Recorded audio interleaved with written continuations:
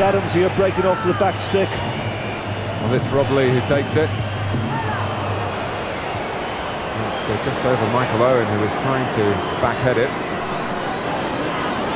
Out by Cunha. Sierra, who's been conspicuous with that left foot of his. And look at this for a pass. And that is a magnificent goal for Chile and Salas. A truly World Cup class goal here as the warm-ups begin. And England were cut apart by the pass and the way the 12 million pound man took the goal, Marcelo Salas. Well, what can you say about that? That is absolute brilliance. A magnificent ball from Sierra, wonderful control from Salas, and a fantastic left foot volley to finish it off.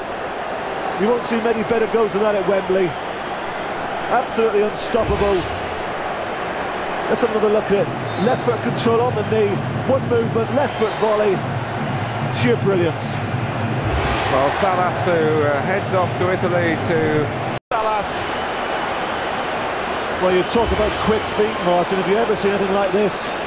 He absolutely teases Sol Campbell, invites the tackle. That's a penalty. That is a penalty. No he wins it himself.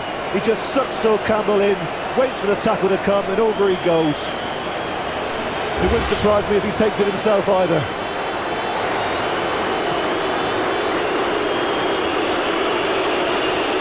Well, the crowd trying to help England here. They call Salas the Matador, and England have been his victims. It's his penalty now, and it's 2-0, both scored by Salas. And Chile are moving towards a really famous Wembley victory. Well, I have to say, Martin, that he's Serie A's gain if he goes to Italy in our loss, because he would have been absolutely fantastic for our Premiership. Well, it's not just Manchester United who have been tracking him. I know Tottenham went to watch him play in Chile as well. Maybe the English clubs put off by the price, put off by the sort of football that he's been playing in, first of all in Chile and then in Argentina. Scottish Cup. Right, well, 9 to 1 to win it. A goal 93 seconds before half time, and Chile are in front. Marcelo Salas, the goal scorer. What a goal as well. And you are looking at that, perhaps venture to suggest that Chile deserve to be in front as well.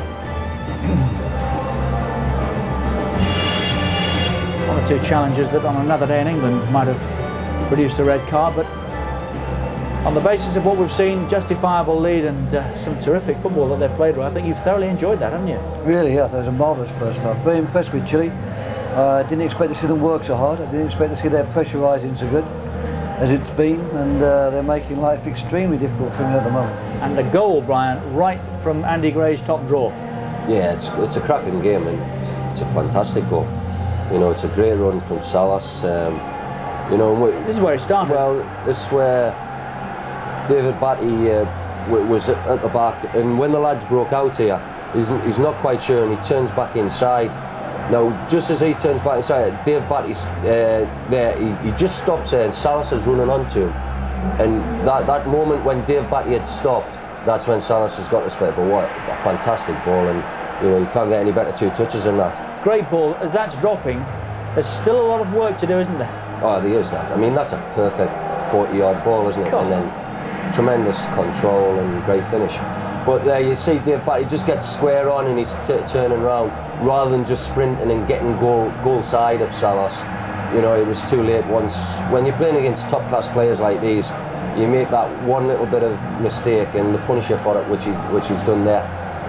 You were saying beforehand, Roy, you weren't sure about the 12 million. Are you more so now? Absolutely, yeah. He's a fantastic player. I mean, what's really impressed me is the fact he's pressurised so well and works so hard, and also he's taken an almighty kick from Tony Adams, I think, which must have been a very painful kick, and he showed the character, one, to get back on the field, and secondly, score that great goal. I'm just disappointed there that, you know, really two players had such a lot of time on the ball to deliver that ball, that to some extent, you know, when you're caught out from a corner kick, your centre backs are upfield, and you've got David Batty defending in a centre back position. You really need your midfield players to close down and not allow the number 10, who's got a wonderful left foot, to select those for the passes. It's half time. We're talking about Chile. We certainly didn't expect to be, did we? What are the plus hmm. points from England's point of view?